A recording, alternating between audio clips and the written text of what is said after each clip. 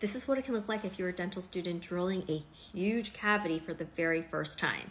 So dental students often start with plastic teeth and they move on to real teeth. And this tooth is not in someone's mouth currently, but it once was. It was extracted and now we get to practice with it.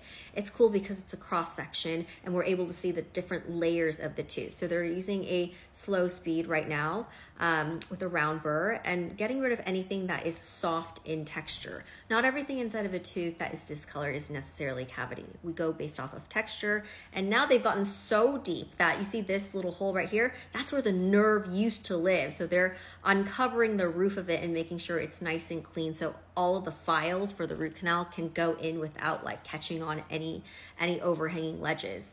All right, so now they're gonna start the root canal. There's one file here, another file there, a third file, and maybe a fourth, probably molar.